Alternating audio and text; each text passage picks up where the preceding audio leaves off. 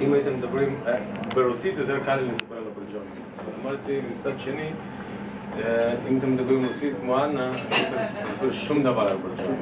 זה הכל ידוע, מדברים שם, כל אחד מכם שירים טלפון לחבר שלו רוסי, וישאל ברג'ומים, על מה מדובר, יקבל את התשובה. בעצם בשביל מה ברג'ומי כאן? כי יש כל מיני פרמיום מים מינרליים, לא חסר כאלה בעולם. המים האלה, המפעל הזה, נמצא בגיאורגיה, נמצא באתר בגן הלאומי שנקרא ברג'ומי. המפעל נמצא 850 מטר מעל קו הים. כל המים האלה מגיעים במשך תקופה גדולה, הם מגיעים מתחת 7-8 קילומטר מתחת לאדמה. לאט לאט הם סופגים את כל המינרלים, יש בפנים מעבר ל-60 מינרלים שהם מאוד טובים לגוף האדם.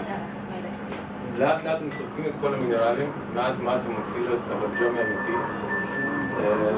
עם פחמן דו-חמצני שמגיע מתחת לאדמה, המים האלה מגיעים ל-1700 מטר למעיין של 1700 מטר מתחת לאדמה ומשם נשבת מהמפעל. בעצם אתם מקבלים, אפילו הגז לא מוסיפים כאן, הגז הוא טבעי לחלוטין.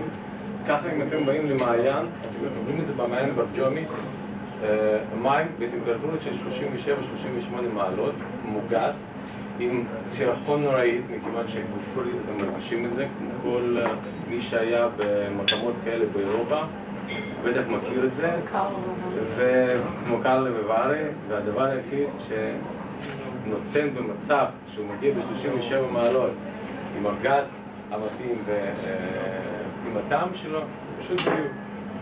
השאלה אם הוא לא נפגע בכל התהליך.